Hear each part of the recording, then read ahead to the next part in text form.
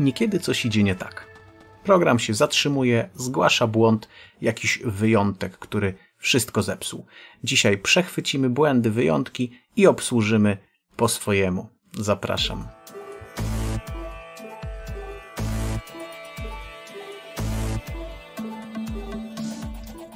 Na początku umieściłem kilka linków, w których znajdziecie opis szczegółowy różnych wyjątków, błędów, które PHP dostarcza, które można rozpoznać, żeby obsłużyć jakiś specyficzny błąd, na przykład błąd próby otwarcia pliku, którego nie ma. Zresztą taki przykład pokażę.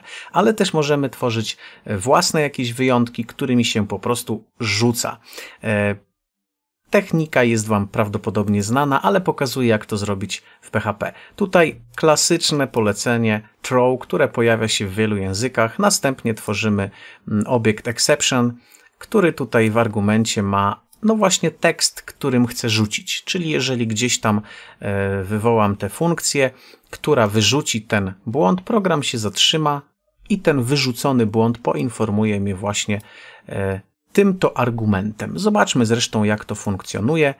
Tutaj odkomentuję sobie tę funkcję example1, którą właśnie napisałem i ona tylko rzuca ten wyjątek. Oczywiście domyślamy się, że miałbym tutaj możliwość e, testu jakiegoś własnego, tak? Jeżeli coś tam nie spełnia warunku, to wyrzuć ten wyjątek i tak dalej, ale tu już skupiam się na samej tej mechanice rzucenia wyjątku. No i tu rzucamy tym wyjątkiem. Uwaga, jeżeli to spróbuję uruchomić, o właśnie tutaj został taki wyjątek rzucony i popatrzcie, tutaj się znajduje. O, wyjątek z example 1. O ten komunikat został wypluty. Oczywiście kończy to działanie programu, dlatego że wyrzuciłem tu wyjątek, ale go nie obsłużyłem, czyli mm, nie przechwyciłem tegoż wyjątku, tego rodzaju problemu i nie obsłużyłem. Jak przechwytać, przechwycić, jak obsłużyć, e, no to popatrzcie dalej. Znowu jest to bardzo podobne do tego, co jest w wielu innych językach. Ten example tutaj już wykomentuję, nie chcemy sobie tu rzucać tak wyjątkami. E, chcemy teraz obsłużyć troszeczkę te wyjątki. Blok try czyli wypróbuj, spróbuj jakiegoś kodu i sprawdź, czy przypadkiem nie wypluje jakiegoś wyjątku, jakiegoś błędu. No wiemy, że example, który tutaj próbuje, wypluje nam jakiś wyjątek. I co się wtedy dzieje? Ano nastąpi próba przechwycenia. Widzimy blok catch, dokładnie jak w wielu językach try catch, niemal w każdym podstawowym, popularnym języku będą to takie dwa bloki. Tu jest jeszcze taki trzeci blok finally, który zawsze się w zasadzie wykona. Szkoda go omawiać, czy tutaj przechwycę, czy nie przechwycę. E, ta linijka się wykona. Napis zawsze się wyświetli. A teraz zobaczmy, co tu mamy. No właśnie. Po przechwyceniu wyjątku zostaje ten wyjątek wprowadzony właśnie do obiektu X, dokładnie tejże klasy, exception. I co tu mamy? Metoda getMessage, getFile, getLine. Proszę zobaczcie. To jest to, co wiadomość tutaj nam wyjątek taką wypluł. To jest to, co ja tam wstawiłem o tutaj.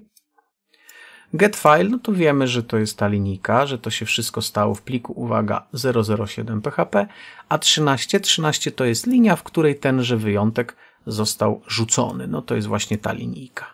Także ten obiekt X, no, tam mniej więcej wszystko wie, co tu się zadziało, taką historię tego dramatu, który się tu wykonał. Tu jeszcze sobie tą moją metodą browse wyświetlam ten obiekt, zobaczcie, on jest troszkę bardziej rozwinięty, tu można sobie jeszcze inne rzeczy znaleźć, e, informacje o tym, e, skąd to się wzięło, e, skąd jest tutaj, o na przykład tu mamy informację, linia 20, zobaczcie, to jest tutaj i to jest jakby trace, czyli jak to się stało, że ten błąd został w ogóle wyrzucony w tej trzynastej linijce. A no właśnie, idąc po śladach, widzimy, że najpierw w dwudziestej linijce wywołana została funkcja, również w pliku naszym 007 PHP, która właśnie w 20 linijce w funkcji, która tu jest też wymieniona, właśnie to ona ten wyjątek wypluła. Zatem patrząc sobie na ten obiekt EX, możemy tu znacznie więcej informacji wyczytać i tyle.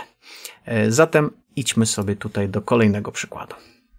Spójrzcie tutaj, mamy drugą funkcję, example 2, która ma jeden argument i ma zwracać int. Jawnie powiedziałem, że ta funkcja ma zwrócić int. Ja zwracam tenże argument, który sam przekazałem. Widzimy więc tutaj, że jeżeli argument będzie intem, wszystko jest ok. Jeżeli nie będzie intem, to zwracam coś, co nie jest typu int. No i teraz, gdybym taką funkcję uruchomił, ale jako argument podał, no właśnie napis zamiast liczbę, to popatrzcie, mamy taki rodzaj błędu, który się nam tu komunikuje jako, o właśnie, tu macie go na niebiesko, to jest ten moment. Ok? Że tutaj example 2 musi zwrócić int, a tymczasem string został zwrócony, wszystko mu się posypało. Rodzaj tego błędu to jest type error. No ale ja mogę się spodziewać takiego błędu. Zatem spróbujmy tę samą instrukcję, example z problemikiem, wywołać, ale w naszej metodzie, która próbuje, sprawdza, czy tu nie będzie jakiegoś błędu. I właśnie świadomie próbuję przechwycić tego typu błąd. Ja no, tu się go jawnie spodziewam. Mm, tutaj przypominam, tak troszeczkę przewinę, że tych catch, catch, catch bloków może być więcej. Ja mogę próbować rozpoznać różne rodzaje błędów, zaraz do tego dojdziemy, ale tu pokazuje jeden z takich błędów dosyć typowych, czyli po prostu niezgodność typu. Można z takiej e, gotowej, przygotowanej klasy skorzystać, no i efekt będzie następujący. Jak to teraz odpalę, to nic nam się tu nie zawiesiło, po prostu dodaje, dostajemy komunikat. Obsłużyliśmy sobie ten błąd. Został on wykryty, źle użyta funkcja example, nie zwraca co powinna, ale program nie wywala się, lecimy dalej, tyle tylko, że moje przechwytujące ciało catch wykonało informację. Typ się skawalił. Oczywiście ja tutaj wyświetlam tylko komunikat, ale nic nie stoi na przeszkodzie jakoś to zamienić, na przykład wywołać example dla jakichś domyślnych wartości, czy jeszcze w jakiś inny sposób zadziałać. To zależy, co po prostu programujemy. Zobaczcie więc następny przykład. Ten rodzaj błędu niejednokrotnie się nam przytrafia, kiedy pomieszamy coś z argumentami funkcji. Wyobraźmy sobie, powołuję tu do życia funkcję, która potęguje. Wypróbowuję jakiś kod. Spodziewam się, że może coś tu być nie tak z argumentami.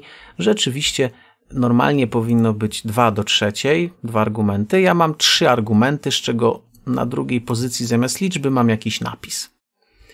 I właśnie ten błąd zostanie tutaj wykryty.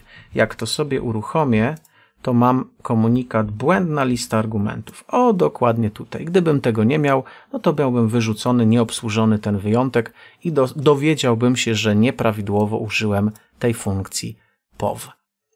Mamy tu też przykład błędu arytmetycznego. No też taki, który się może zdarzyć. Zobaczcie, od strony czysto gramatycznej zapis jest prawidłowy. Mam liczbę binarną i przesuwam y, tutaj operatorem, tak, przesunięcia binarnego, czyli takiego praktycznie mnożenia lub dzielenia przez dwa. Ale ja tu przesuwam ujemną liczbę, a to nie zadziała. Zapis jest formalnie prawidłowy, nie ma tu jakiegoś błędu, ale to nie zadziała, ta, to działanie się nie wykona. No i właśnie y, catch wyłapie ten arithmetic error i tutaj mamy, że to jest błąd obliczeń. Tego się nie da policzyć. Coś jak dzielenie przez zero. Zresztą jest i taki rodzaj błędu. Tutaj y, są jeszcze prób, jest próba przechwycenia w innych blokach catch jakichś innych błędów, które mogę obsłużyć. Najczęściej to się stosuje wtedy, kiedy chcę sam zareagować na pewne błędy. Nie zostawiam tutaj programu, który się po prostu wyłoży. Są takie sytuacje, że programujemy coś i to się nie może wyłożyć. To musi działać, ale ja muszę jakoś zareagować na błąd, bo chcę, żeby program działał, nie chcę, żeby się skończył, ale też chcę, żeby jakoś na błędy zareagował sensownie. E, tutaj mogę wiele błędów próbować przechwycić, każdy w jakiś sposób obsłużyć. Lista tych wielu błędów, które tutaj są takie jakby no, domyślnie y, wbudowane, można sobie przejrzeć, można też projektować jakieś własne. Y, catch, catch, catch, multi, przechwytywanie. Jest jak najbardziej prawidłowa konstrukcja. Te oczywiście dalsze, no tutaj nie wystąpiły, już ten pierwszy zadziałał. Ok? Y, I na koniec jeszcze jeden rodzaj błędu, kiedy próbujemy wywołać funkcję, której nie ma, przechwycimy ogólnie jakiś błąd, tu taka klasa ogólna error, coś jak ta pierwsza exception, i tutaj ten błąd będzie wyświetlony. Ten obiekt przechwytuje ogólnie jakiś, a tu sobie go wyświetlam. Zobaczcie, o. Mamy tu trochę więcej informacji. Message nam wszystko wyjaśnia. Na pewno nie raz widzieliście ten rodzaj komunikatu. Call to undefined function, fake function.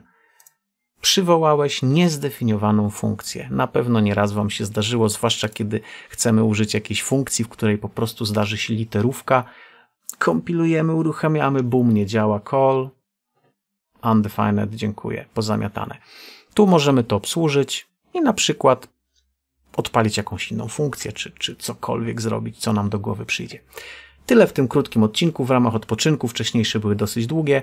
E, chciałem Wam je pokazać, żebyście mieli już to też gdzieś tam za sobą. PHP, jak widzicie, nie odstaje tu od innych języków, robi mniej więcej to samo, ba nawet składnia jest bardzo podobna do tego, co spotkacie chyba w większości podstawowych języków. Tyle na dzisiaj.